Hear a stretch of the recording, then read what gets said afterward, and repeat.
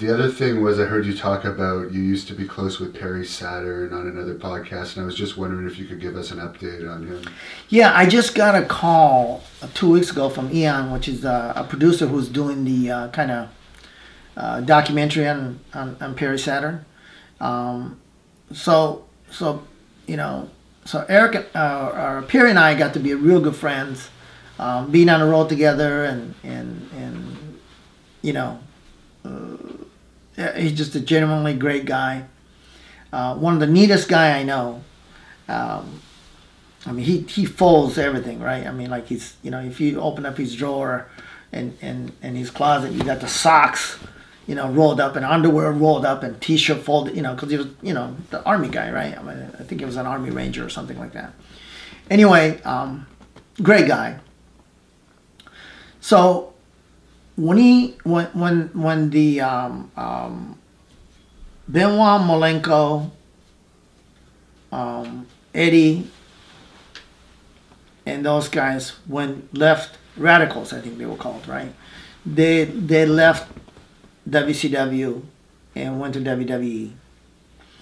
Um, um, you know, it, it, it, was a big hit for that. I think, far as that kind of worker, because they were all great workers, uh, great entertainers.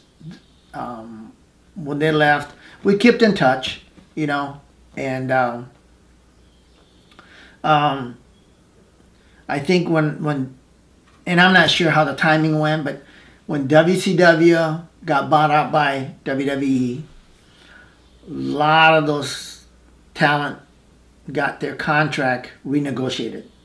I think that's the best way I can say it. And I think Perry decided not to take their offer.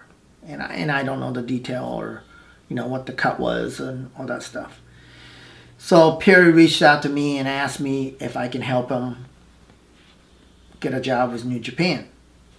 Um, I called my friend Yuji Nagata, who I manage at WCW, and and uh, we made a trip to Japan, Perry and I, and and uh, met with their office, and uh, Perry got a job there, and it was a pretty good gig. I, I if I recall, it was something like fifteen thousand dollars a week, so many weeks, maybe 10 weeks guarantee or something to that sort. I can't really remember. It wasn't, you know, I, I wasn't really, but it was a pretty good deal. Perry was really happy because, you know, he didn't have to be on the road and he, he'd be home, be able to, to work and do other things, um, do some independent shots and stuff like that. So he was really happy about that.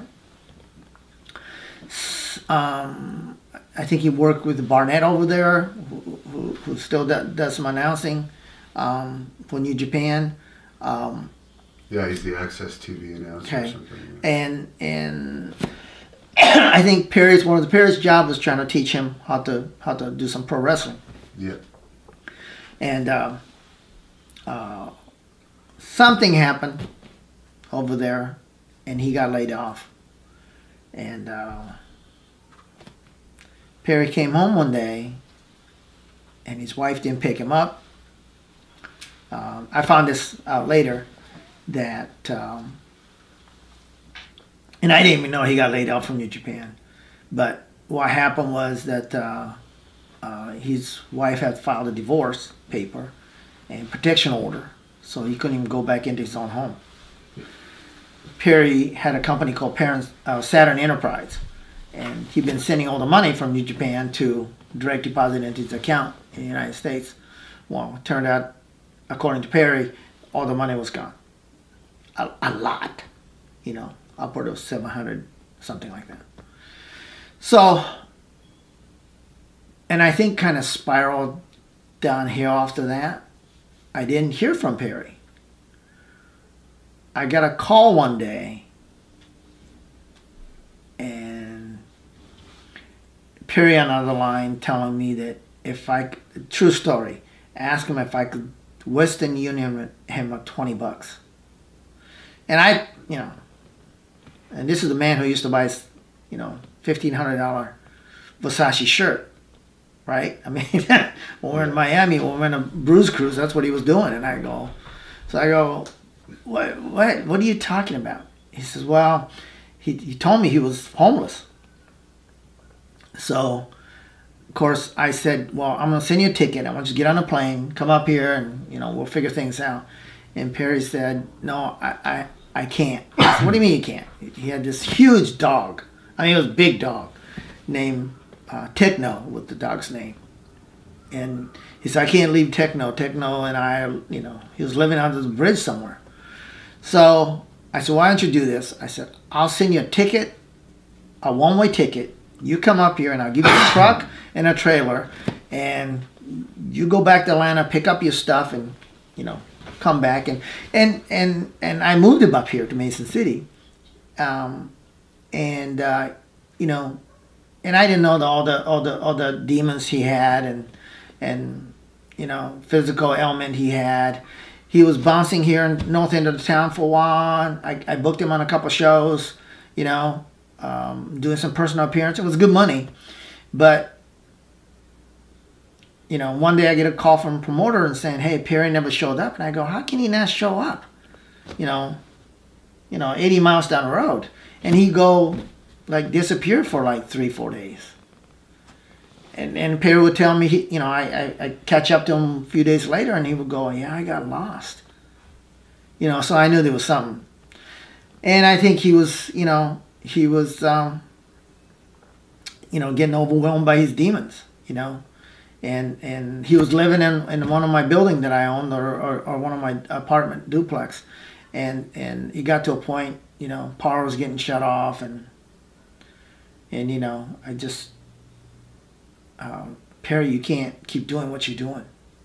And I remember he had a girlfriend. He ended up moving up north to Albert Lea, the town you went probably went through. And, and um, I kind of lost track of him. And, but, and, and he'd been working at some factory up there and he, he kind of got himself back together. Um, but um, last year, uh, matter of fact, year ago, almost exactly a year ago, um, we did some. There was a Comic Con in Albert Lea, Minnesota, a small town, and him and I did some autograph signing and and you know, kind of rekindle our relationship. At that time, the guy named by Eon who's doing a kind of uh, um, um, story on Perry, and he been trying to get his, you know, um, and and I did find out he got it so he's uh, um, uh, medical from I think from from his service. Um, um, so he's going to be getting some money and he's going to get himself back together. And but he does have you know probably have uh, what is that ATCO that the, the brain damage. Oh, okay. Yeah. Concussion. Yeah, concussion syndrome, and and you know he he does have yeah, yeah that's right that's right. And he does have a lot of um, you know physical ailment and I don't think he can work anymore but he can certainly still make some personal appearance and, and stuff but you know those guys and I have always said this the amazing thing about professional wrestler you know they they're they're tight ropers that works without a net. What I mean by that safety net is that social safety net. You know you get fired from you know making decent money, certainly above average money. And then if you don't have the skill set, you know, I was fortunate enough that I, I owned business and stuff like that before I went in, and certainly I relied on that afterwards. Um, but some of these guys that, you know, young guys, you know, early 20s, goes into business, um, worked, you know, ride the wave for a few years and gets hurt.